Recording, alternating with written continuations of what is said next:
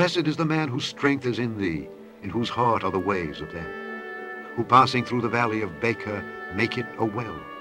The rain also filleth the pools. They go from strength to strength.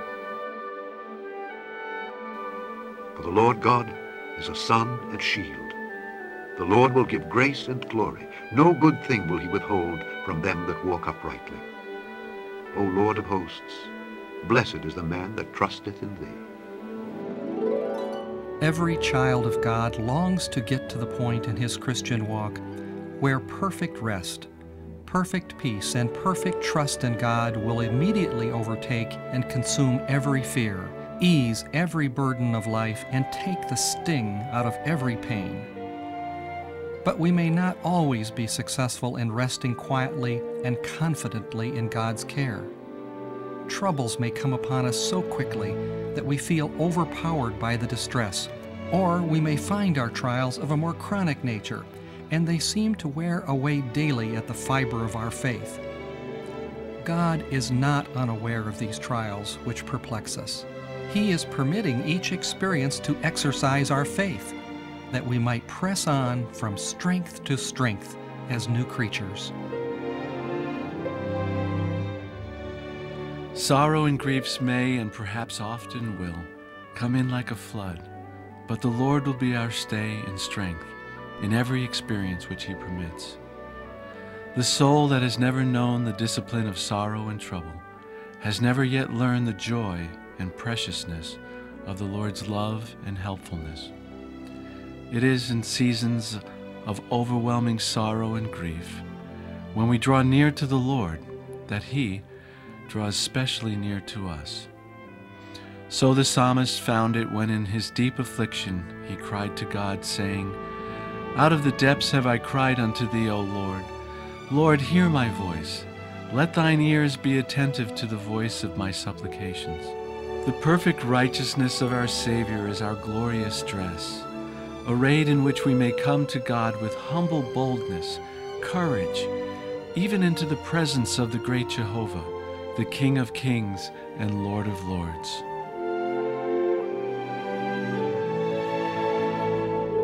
If on a quiet sea toward home I calmly sail, with grateful heart, O God, to Thee I'll own the favoring gale. But when the surges rise and rest delay to come, blessed be the tempest, kind the storm which drives me nearer home. Soon shall the waves and storms all yield to Thy control. Thy love will banish all alarms and darkness from my soul. Teach me in every state to make thy will my own, and while the joys of sense depart, to live by faith alone.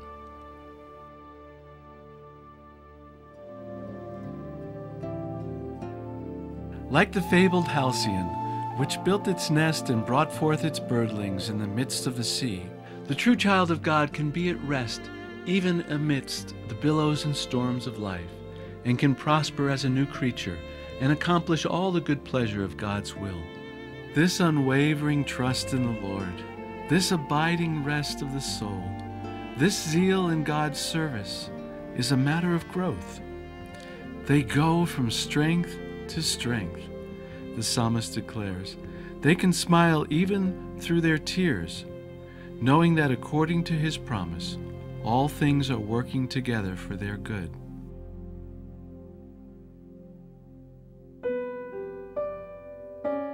Yes, we go from strength to strength.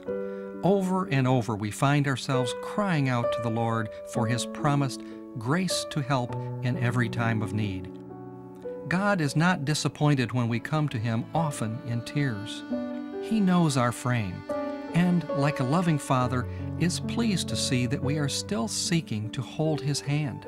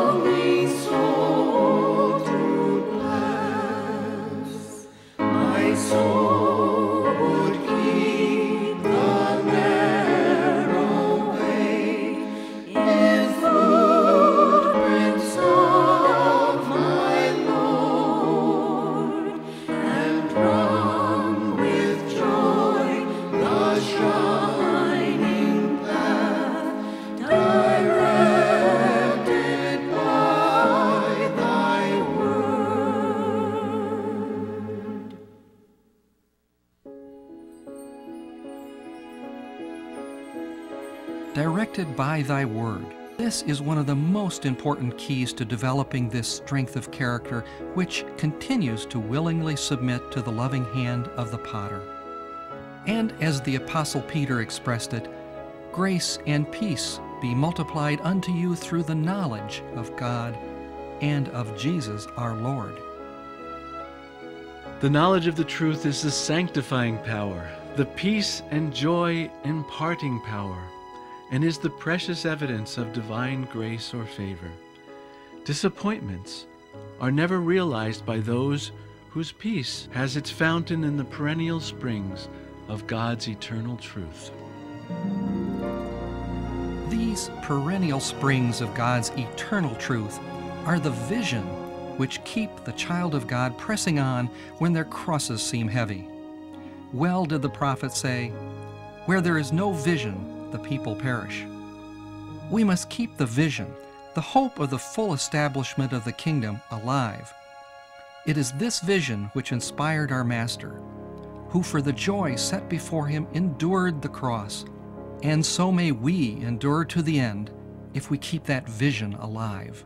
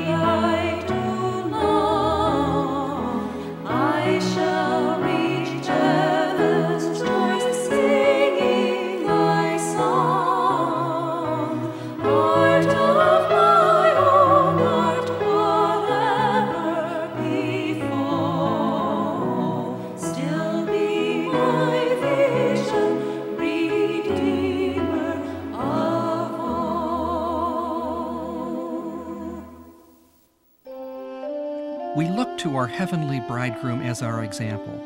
He is sympathetic to our every cry. As he experienced the heights of joy and the depths of sorrow, so must we.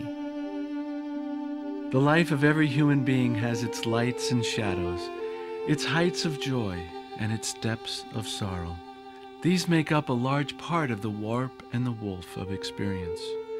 And the web of character which flows from the active loom of life will be fine and beautiful, or coarse and homely, according to the skill and carefulness with which the individual weaves into it the threads of experience. In every life, in the present reign of sin and evil, the somber shades predominate. And to such an extent is this true that the Word of God aptly describes the human family in their present condition as a groaning creation. The whole creation groaneth and travaileth together until now, says the Apostle. The children of God are no exception to this universal rule. We also groan within ourselves, waiting for the adoption, the deliverance of our body, our company, the body of Christ. How comforting it should be that our Heavenly Father understands when we at times groan under the sorrows and pain of this life while in the flesh. And thank God that we have learned that there is a difference between groaning with creation and murmuring against the Lord. The one will yield the peaceable fruits of righteousness if we are rightly exercised thereby, whereas the other will only make us bitter and unpleasant to ourselves and others. In the midst of the cares, perplexities, and difficulties that come to the children of the Lord, we are to trust Him fully and to possess our souls in peace and patience.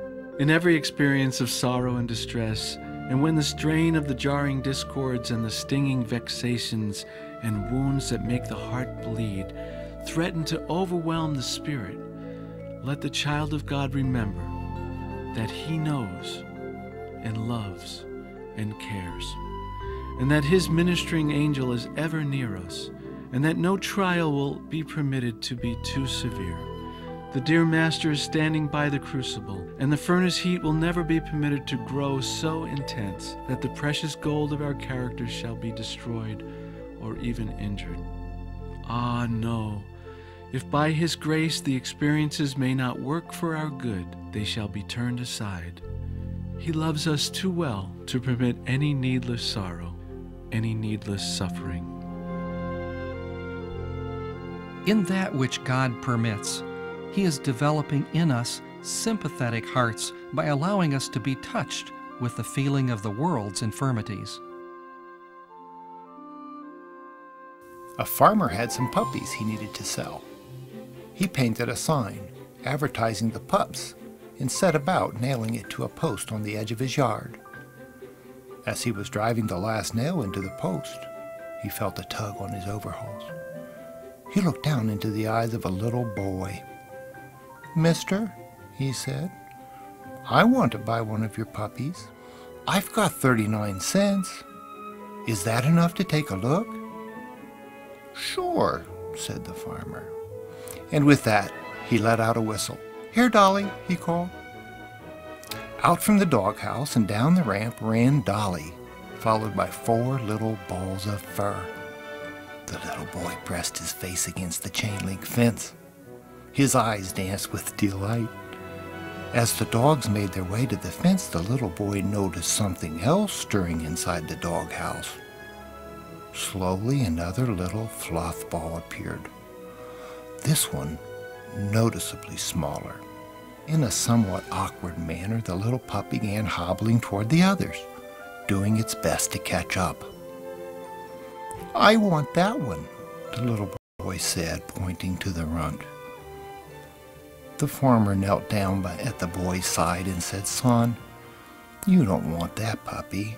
He will never be able to run and play with you like these other dogs would. With that, the little boy stepped back from the fence, reached down, and began rolling up one leg of his trousers. In doing so, he revealed a steel brace running down both sides of his leg, attaching itself to a specially made shoe. Looking back at the farmer, he said, You see, sir, I don't run too well myself, and he will need someone who understands.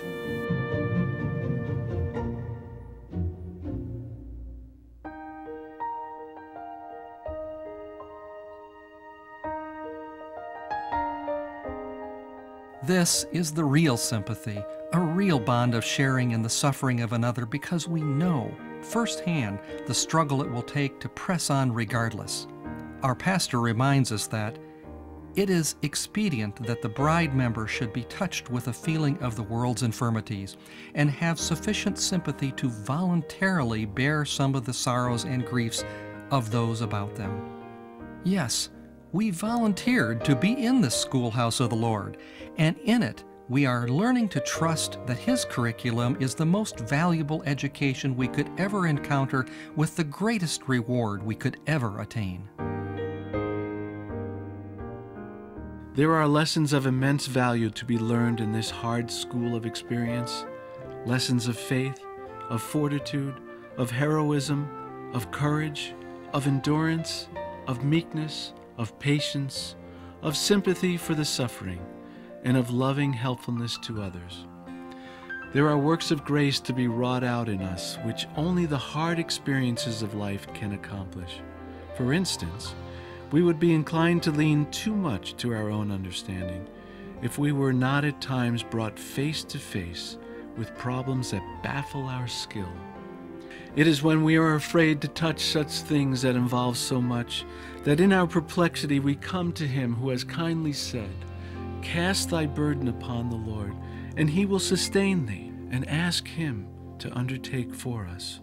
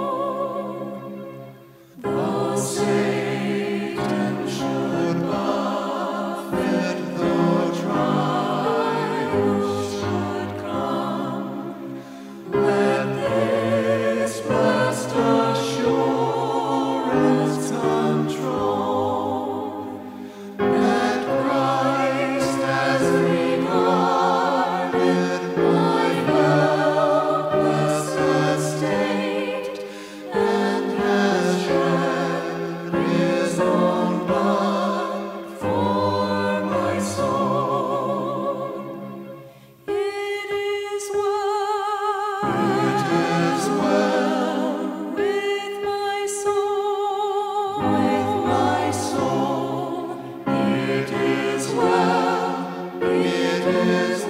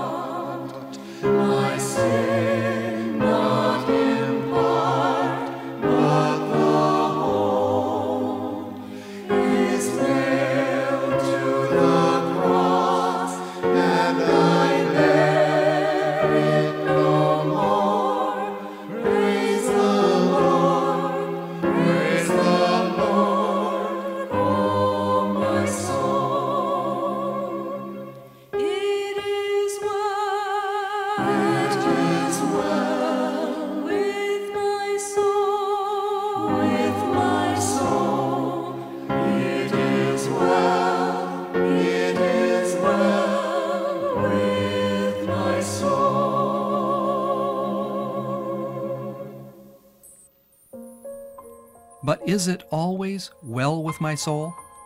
Some of our dear brethren struggle with the fear that they will never be pleasing to the Father.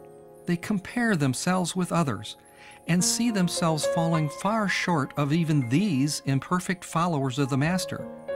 In times like these, we need to remind ourselves that even the noble Apostle Paul shared in this disappointment of himself. For I know that in me, that is, in my flesh, dwelleth no good thing.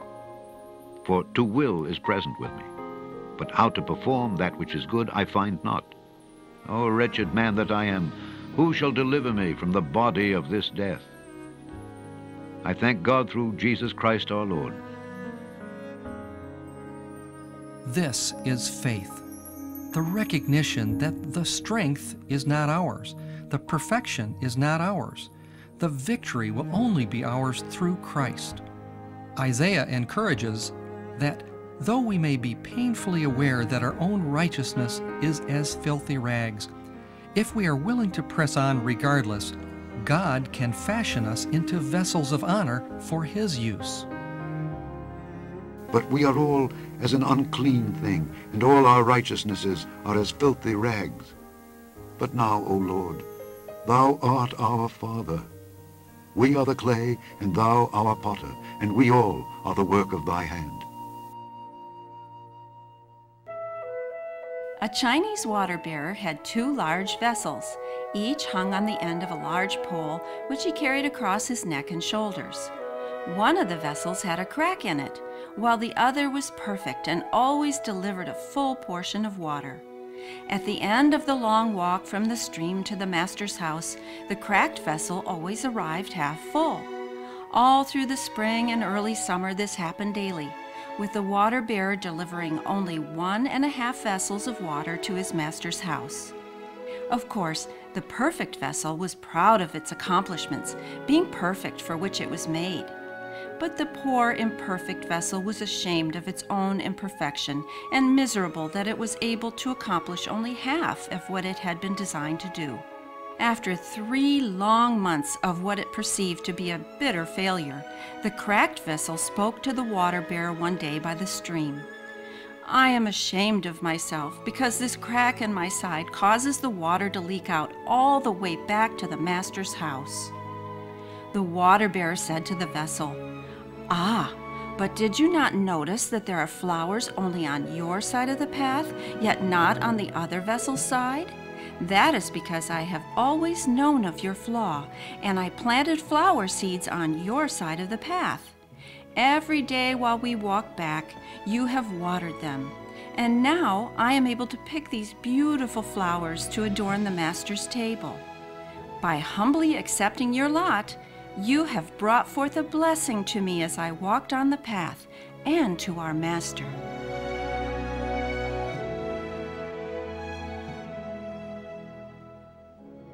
We must daily carry our earthen pitcher to this heavenly fountain to be replenished, for we are leaky vessels.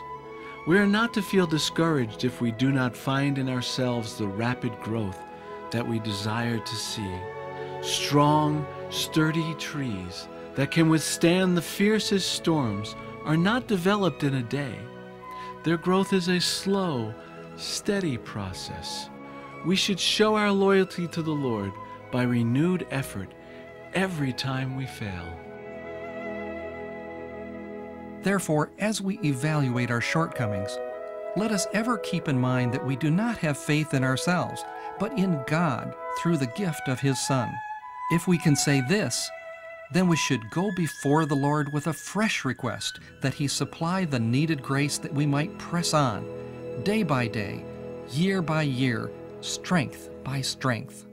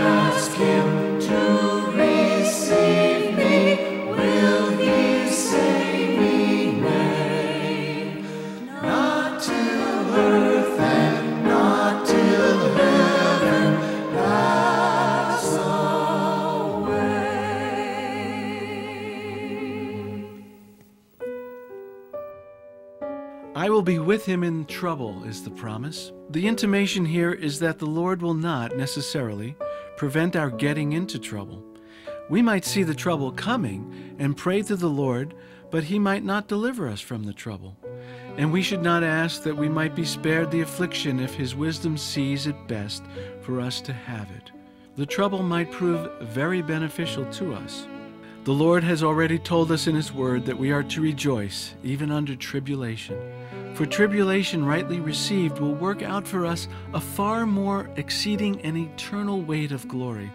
So while the Lord does not promise us that we shall escape from trouble, He does promise that with the trouble He will give His children consolation of heart, sustaining grace that will enable them to rejoice even in the midst of tribulation. This was exemplified in our Lord Jesus and in the apostles.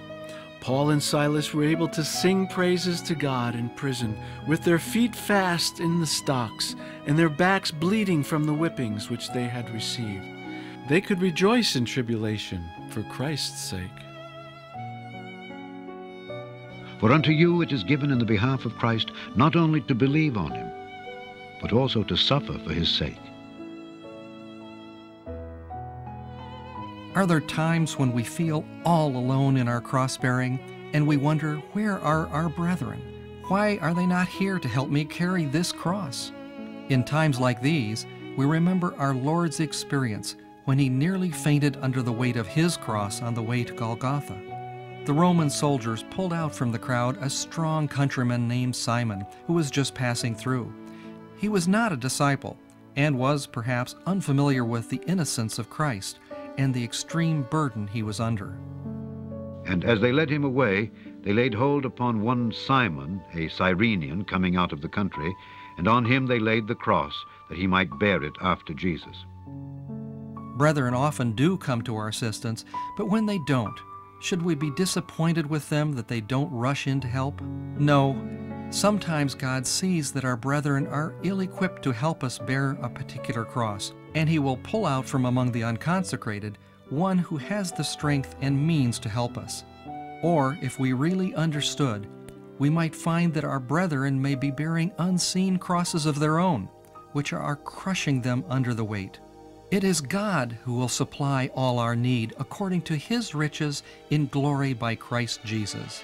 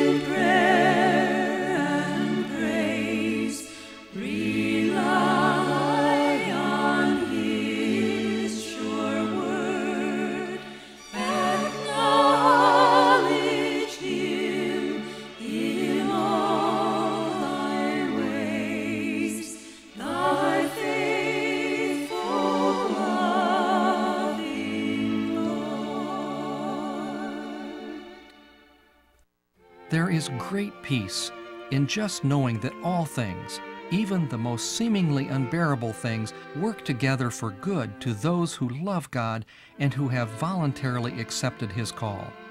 Joseph, though sold into slavery by his brothers, rejoiced in even this. And Joseph said unto his brethren, Come near to me, I pray you. And they came near. And he said, I am Joseph, your brother, whom ye sold into Egypt. Now therefore be not grieved, nor angry with yourselves that ye sold me hither, for God did send me before you to preserve life. Could it be that the experiences that are so difficult for us to endure may be the very experiences God is permitting, that we might be an instrument of His to restore the heart of another?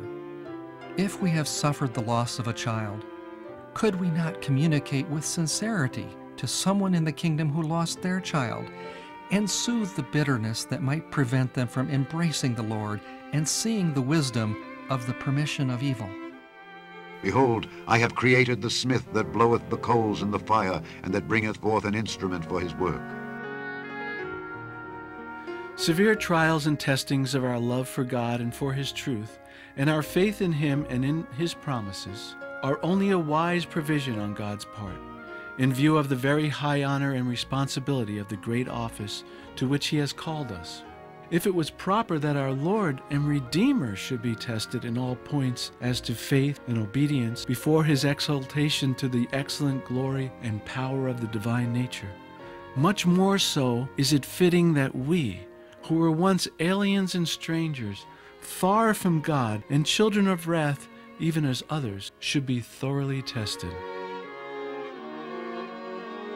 As Joseph was tried, tested, and found faithful in his experiences, and then was raised to high exaltation, so it was for our Master, and so it will be for his footstep followers. Sometimes the Lord's hand is very heavy. It was, in the case of our Lord Jesus, heavy, pressed down. But when the Lord felt the Father's hand pressing down, he meekly bowed himself beneath the weight, in humble acquiescence to the will of the one whose purpose he had come to carry out. But the hand did not crush him, although it seemed to do so. Instead of being a crushing, it was the hand of love, testing his obedience to the full. The various tests of the present time are tests of faith and loyalty to God and of entire submission to his will. Commit thy way unto the Lord, trust also in him, and he shall bring it to pass. And he shall bring forth thy righteousness as the light, and thy judgment as the noonday. Rest in the Lord, and wait patiently for him.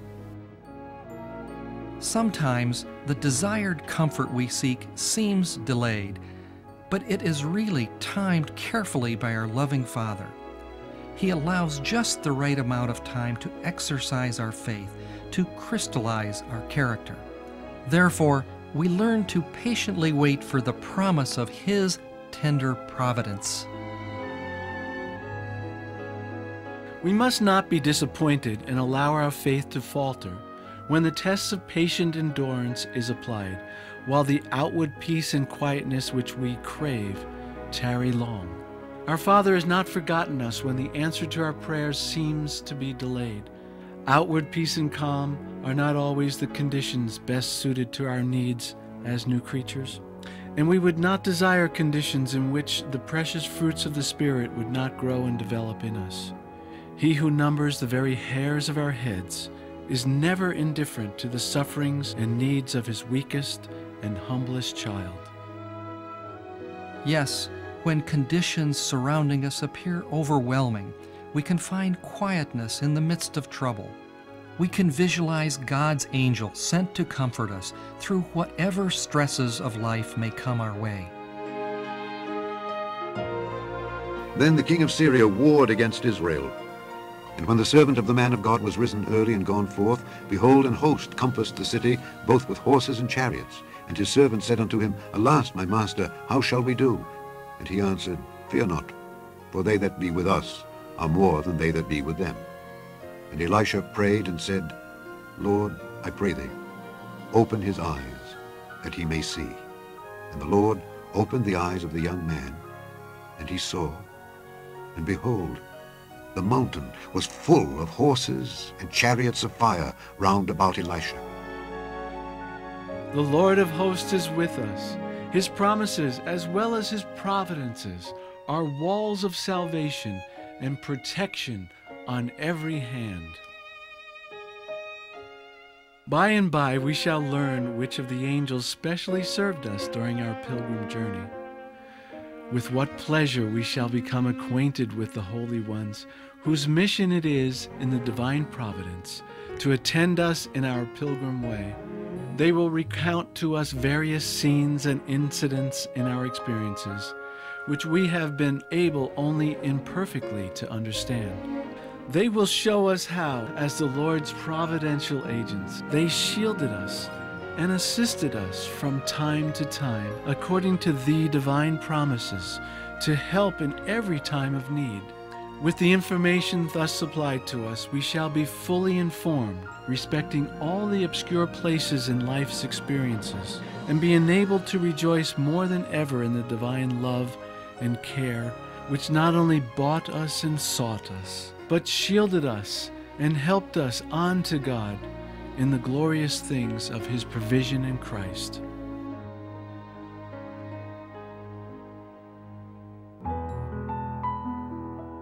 Recently, a dear sister testified of a test to her faith.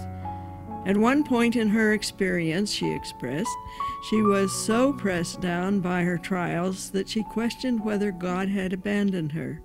Was she unfaithful? Was she unworthy of His love?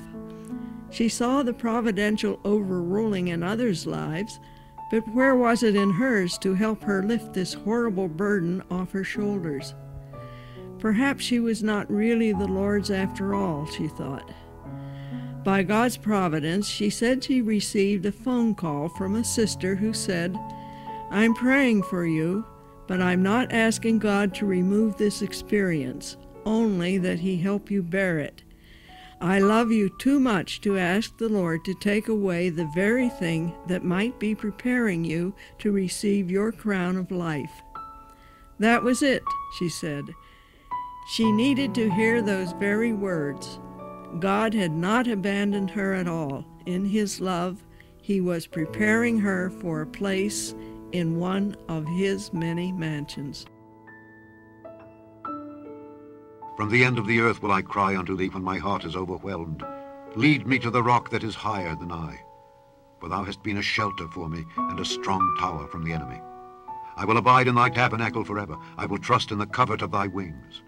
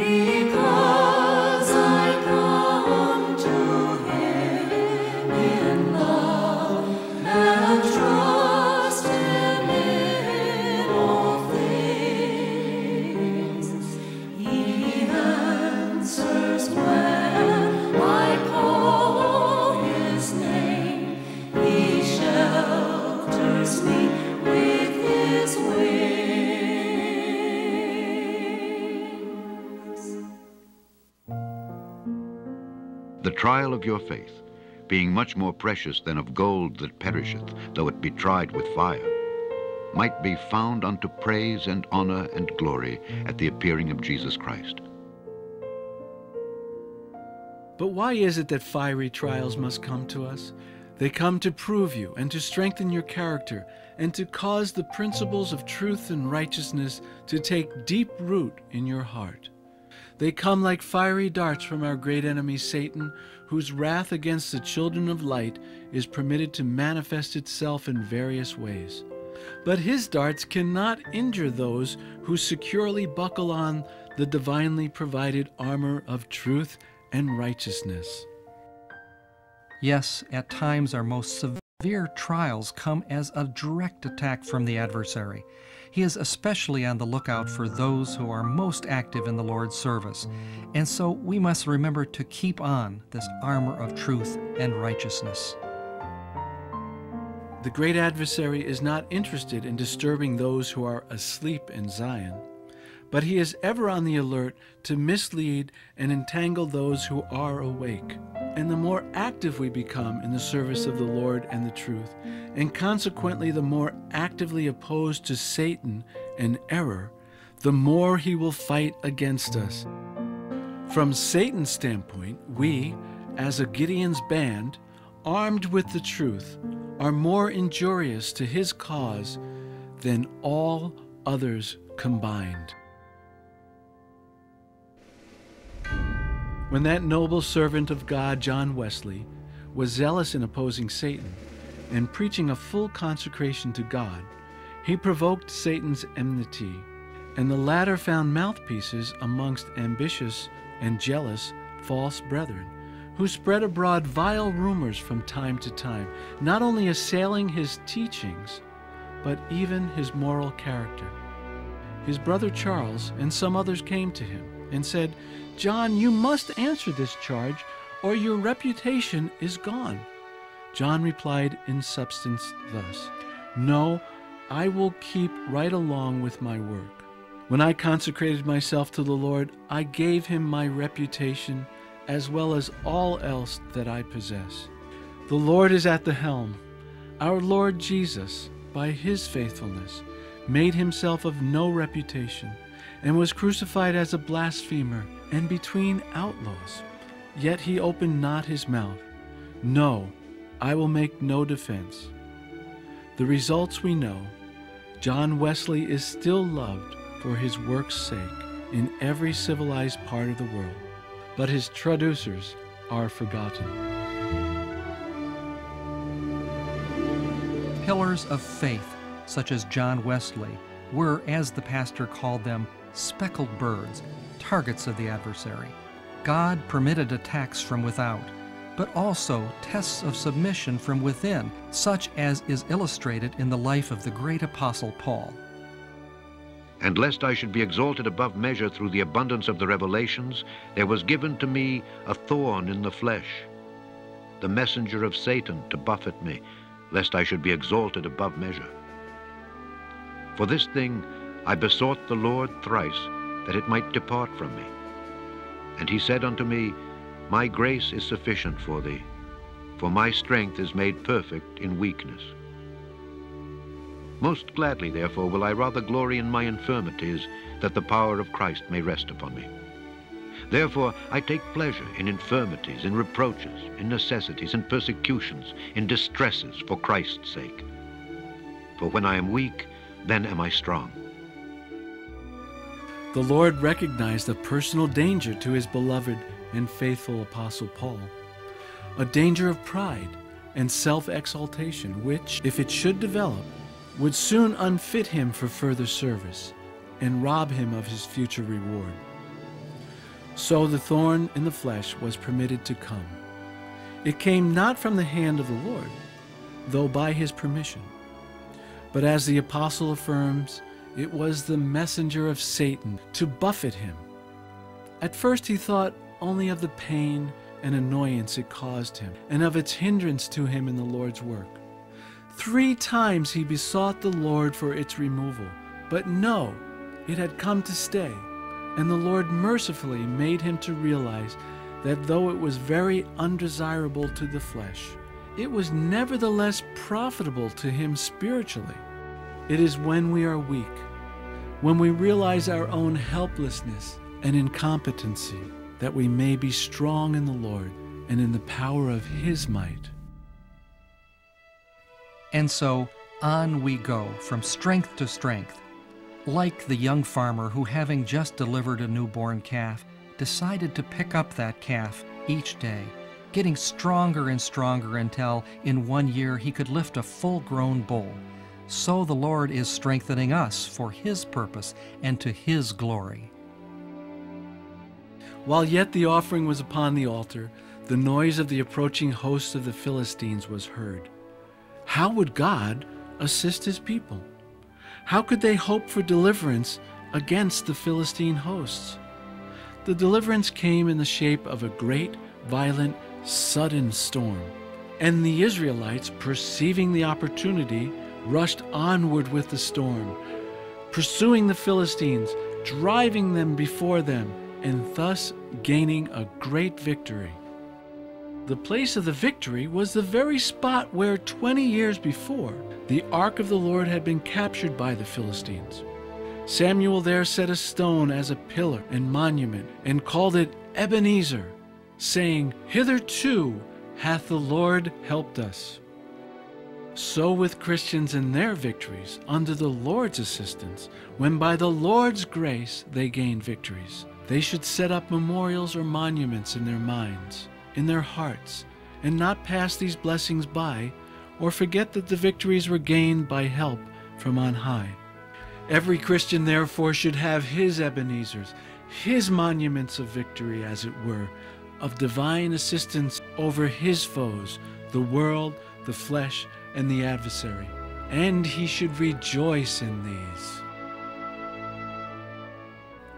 Finally, brethren, lest we forget the many ways in which the Lord has brought peace to our hearts through the storms of life, let us make a record of these providences, that these may bring us comfort in future times of sorrow and distress. Let us always remember that while our heart and our flesh fail us, His eye never sleeps, His ear never shuts, and is always open to our cries for His promised grace to help in every time of need.